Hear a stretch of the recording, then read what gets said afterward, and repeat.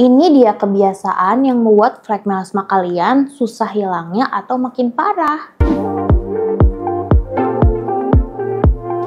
Nah, teman-teman, ini adalah kebiasaan-kebiasaan yang membuat flek melasma kalian menjadi susah hilang atau malah semakin parah.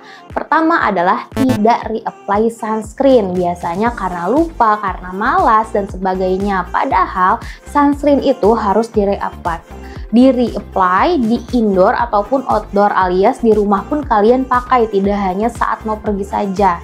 Dan di reapply-nya itu paling cepat per 2 jam paling lama per 4 jam. Dan kedua adalah tidak menghindari pencetus. Kalau misalkan kalian keluar sudah pakai sunscreen jangan lupa pakai sun shield alias pakai topi. Lalu pakai masker biar paparan matahari itu tidak langsung kena kulit kita. Dan hindari pencetusnya seperti apa? Yaitu segala sesuatu yang memiliki panas. Misalkan uap setrika, uap masak, pakailah masker agar uap itu tidak langsung kena kulit kalian. Dan tidak disiplin alias tidak sabar. Kenapa? Karena namanya suatu progres itu butuh waktu.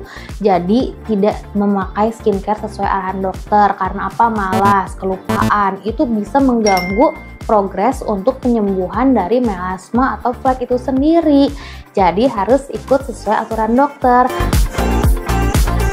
sayangnya akan tetap ada karena salah satu pencetus dari melasma adalah penggunaan pil KB yang mengandung hormon. Selama hormon itu masih ada, maka si flek melasma akan tetap ada. Salah satu cara untuk menghilangkan si flek melasma adalah pemberhentian dari si pil KB itu sendiri. Nah, saran saya kamu bisa menggantikan pil KB itu dengan e, cara kontrasepsi yang lain, tapi saran saya juga e, kamu harus konsultasikan dulu ke dokter kandungan kamu ya bila ingin mengganti kontrasepsinya dengan cara yang lain. Ubah kebiasaan kamu dengan rutin pakai sunscreen Lavis Cosmetics. Check out sekarang.